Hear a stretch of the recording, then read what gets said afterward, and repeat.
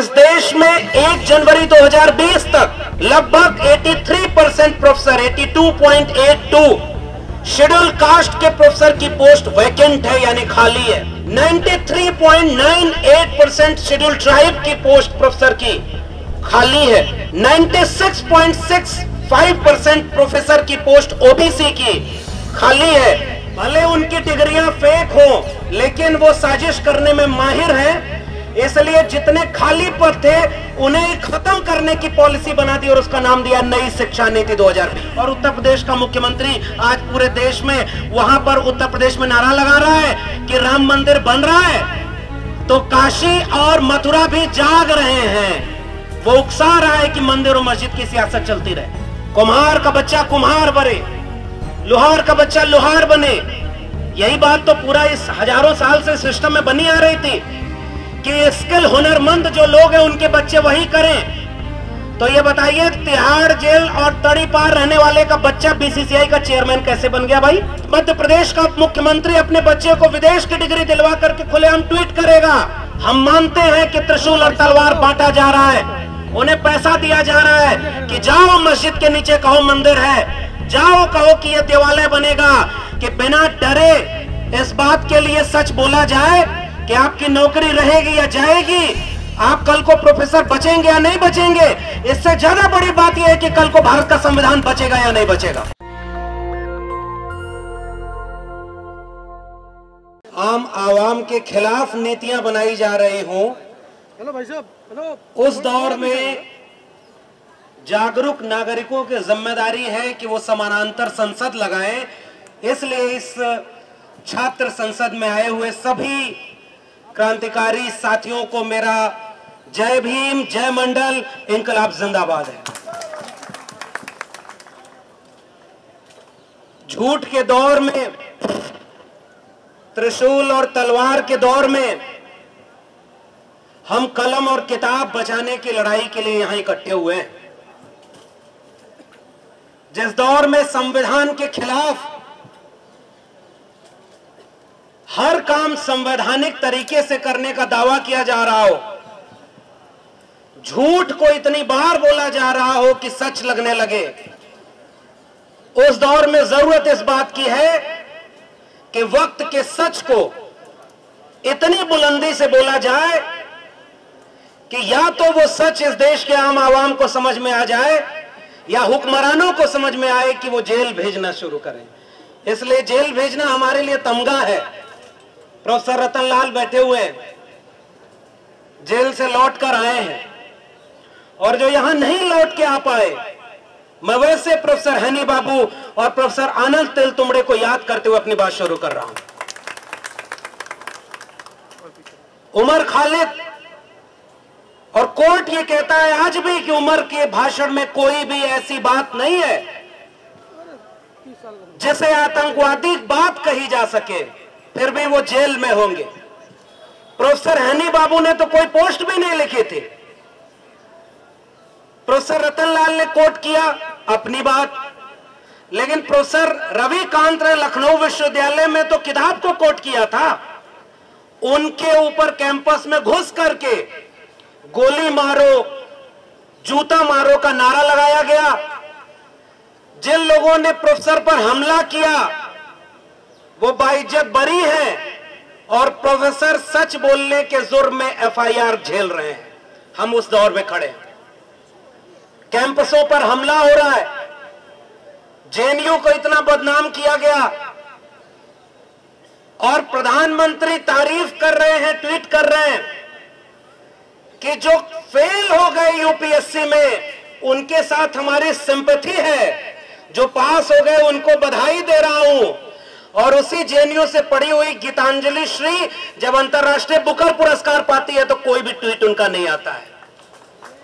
और उससे भी ज़्यादा विरोधाभास इस बात का कि यूपीएससी क्रैक करने वालों को बधाई देने वाला प्रधानमंत्री लेटर एंट्री ला करके बिना परीक्षा दिए कुछ लोगों को ज्वाइंट सेक्रेटरी बना रहा है, ऐसे विरोधाभास के दौर में हम खड़े हैं। इसलिए सबसे पहले मैं एनईपी पर बहुत सारी बातें हुई। आंकड़ों के साथ बोलने पर भी अगर जेल हो रही है तो फिर बचेगा क्या, किस तर्क से बोला जाएगा? फिर भी मैं आंकड़ों की बात करूँगा। मैंने अपने नाम से आईटीआई लगाई। एक जनवरी 2020 तक के आंकड़े निकाले। देश भर के 45 केंद्रीय विश्वविद्यालयों में कितने प्रोफेसर हैं असिस्टेंट एसोसिएट और प्रोफेसर की रैंक पर कितने सैंक्शन पोस्ट है, कितने वैकेंट है तो मेरे सामने जो आंकड़े आए, मैंने उसका कंक्लूजन निकाला। तो इस देश में 1 जनवरी 2020 तक लगभग 83 परसेंट प्रोफेसर 82.82 शेड्यूल कास्ट के प्रोफेसर की पोस्ट वैकेंट है, यानी खाली है।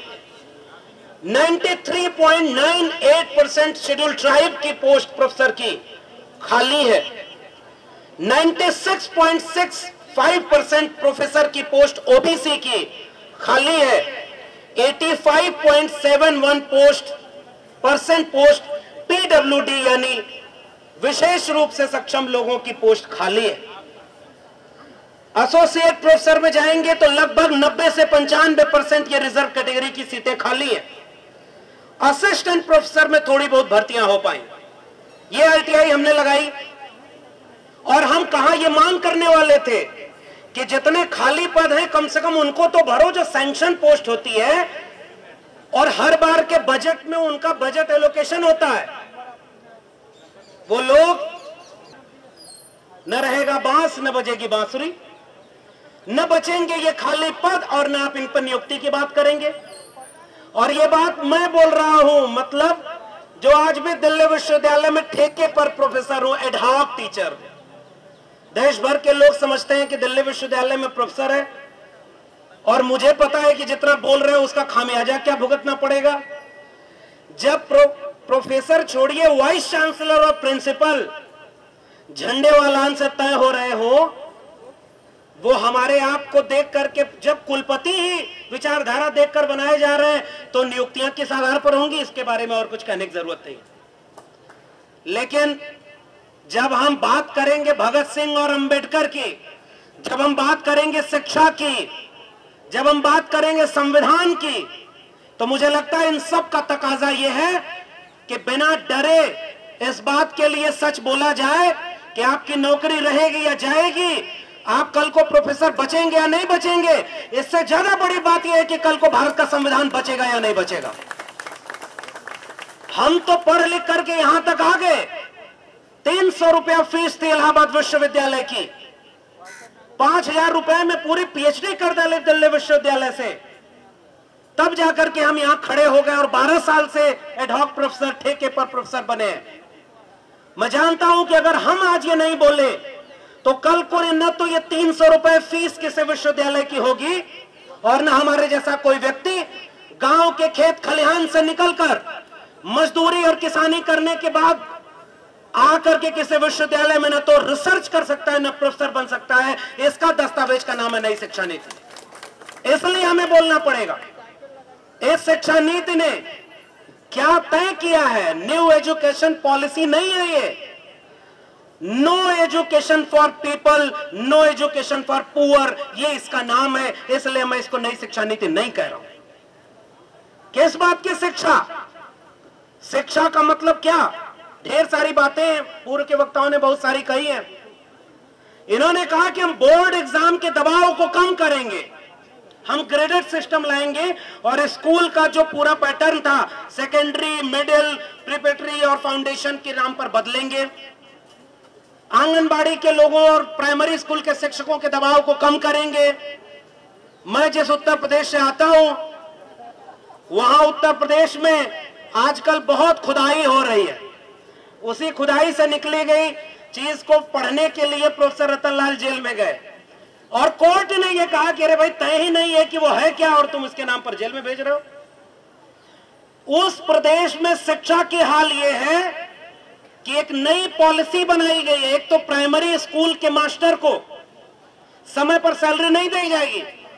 और उत्तर प्रदेश में प्राइमरी स्कूल का मास्टर पढ़ाए न इस बात को सुनिश्चित करने के लिए इतना काम उसके ऊपर दे दिया गया है। कोई गणना करानी है तो कराओ वैक्सीन लगानी है तो लगाओ कोई काम सरकारी आदेश आया गाँव गाँव जाओ पढ़ाने के इतर सारे काम करेंगे।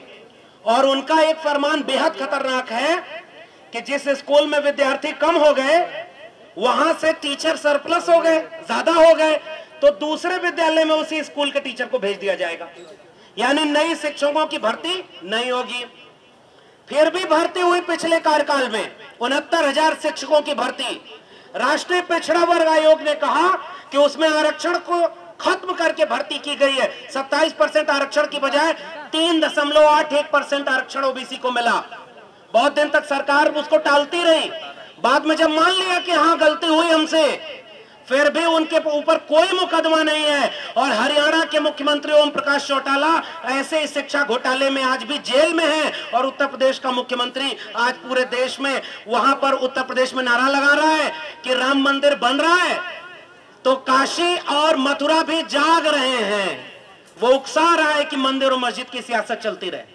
इसलिए मैं ऐसी शिक्षा नीति की आलोचना कर रहा हूँ। त्रिभाषा फार्मूला की बात की गई। अरे त्रिभाषा फार्मूला कहाँ से लागू होगा? जब उनके भाषा सीखने की जो पूरी क्राइटेरिया उसको कम कर दिया। कोडिंग सिस्टम किया, cross curricular activity, multi stream पढ़ाई होगी। यानी एक स्ट्रीम नहीं पढ़ने की ज़रूरत है।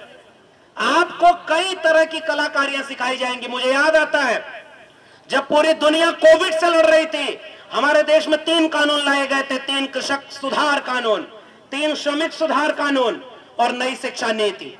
श्रमिकों के ट्रेड यूनियन बर्बाद कर दिए गए, इसलिए वो भी कानून पास हो गया। नई शिक्षा नीति में शिक्षक संगठन और तमाम छात्रों को कमज़ोर कर दिया गया, इसलिए लड़ाई भी कमज़ोर है। लेकिन किसान समझ गए कि वो तीनों कानून उनके सुधार के नहीं है, वो उनके फ़सलों और नस्लों को बेचने वाले कानून है। इसलिए उन्होंने सड़क पर हंगामा किया और तीनों कानून वापस हुए।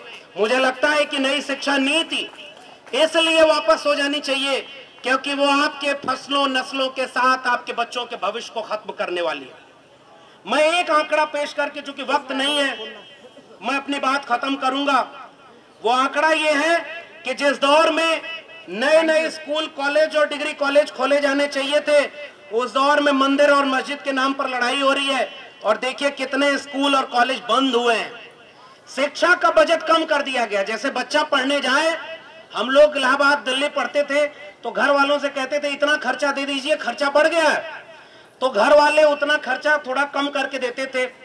लेकिन हमारे देश में एक ऐसा प्रधानमंत्री बैठा हुआ है जो कह रहा है कि मल्टीपल डिसिप्लिनरी कोर्स चलाएँगे मल्टीपल चॉइस का सिस्टम देंगे, आप विदेश तक पढ़ने जाएँगे, आपको चॉइस बेस्ड क्रेडिट सिस्टम है, और पैसा तो कह पैसा कुछ नहीं है, जितना पैसा है उससे भी कम कर देंगे इच्छाएँ आसमान पर छुएँगी, और उन्हें पूरा करने का कोई इंतज़ाम नहीं होगा।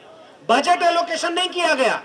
बजट कम कर दिया गया है, इसीलिए ताकि स्कूल और कॉलेज नहीं खोले जाएँ। और वो जो पूरा बोर्ड ऑफ़ गवर्नर्स का मामला है एजुकेशन के लिए लोन का सिस्टम है कि लोन लीजिए और पढ़ाई करिए। मैं उस आंकड़े का निचोड़ बता रहा हूँ। 2019 तक टेक्निकल रिसर्च इंस्टीट्यूट ने आंकड़े दिया।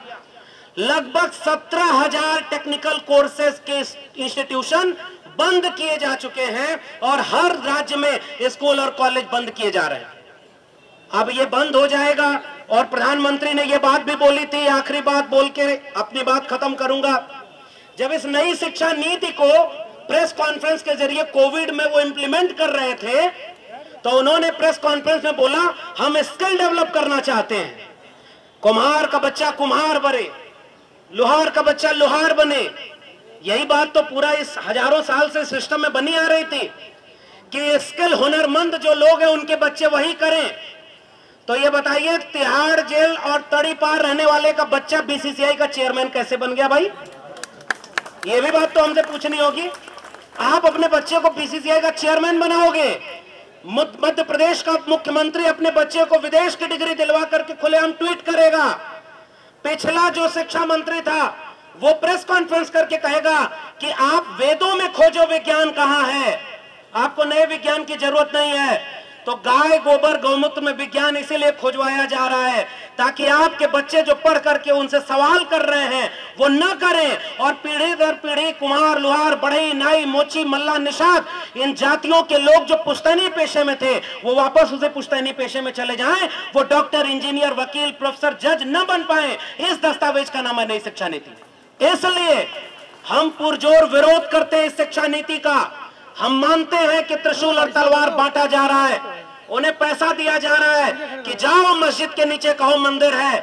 जाओ कहो कि यह देवालय बनेगा। यानी हम तो कह रहे हैं इस, इस देश में वैसे भी देवालय की कमी नहीं थी। इस देश में कमी थी, थी स्कूल कॉलेज और विश्वविद्यालय की। हर विश्वविद्यालय को बंद करके देवालय बनाने वाले लोग इस नई शिक्षा नीति को लागू कर रहे हैं। हम जानते हैं कि यह बात लोगों को समझाना कठिन है।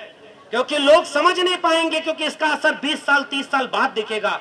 जब तक आप इसे समझेंगे, तब तक आपको बचाने के लिए कुछ बचेगा नहीं। इसलिए मैं इस मंच के आयोजकों को और ऐसे देश भर के तमाम लोगों को सलाम करता हूँ, जो आज भी 20 साल बाद उनके बच्चों का भविष्य जो लुट रहा है, बेचा जा रहा है, उसको पहचान करके इस नई शिक्षा नीति का विरोध कर रहे हैं। हम भारत को, संविधान को बचाने वाले लोग हम इस देश में बाबा साहब और भगत सिंह के सपनों का भारत, जो शिक्षा की बात करता था, ज्योतिबा फूले के सपनों का भारत, सावित्रीबाई फूले के सपनों का भारत, जिसमें सबको पढ़ने का हक था, उन पढ़ने वाले लोगों की बात को याद करके कह रहे हैं, अगर कलम और किताब हार गई तो आने वाली पीढ़ियाँ हमें माफ़ नहीं करेंगी, क्योंकि हमें मौका मिल गया था कलम और किताब पढ़ने का। हम उनके लिए ये मौका नहीं बचा पाए, इसलिए इस नीति का विरोध करना बहुत ज़रूरी है। जय भीम, जय मंडल, संविधान जिंदाबाद उल जिंदाबाद, इनकलाब जिंदाबाद। नेशनल दस्तक की आपसे गुजारिश है कि अगर इसको बचाना चाहते हैं तो नेशनल दस्तक को सब्सक्राइब करने के लिए रेड कलर के सब्सक्राइब बटन को दबाएँ, फिर बेल आइकन की घंटी दबाएँ। नेशनल दस्तक को बचाने के लिए बहुत ज़रूरी है कि हर खबर को शेयर करें लाइक करें कमेंट ज़रूर करें।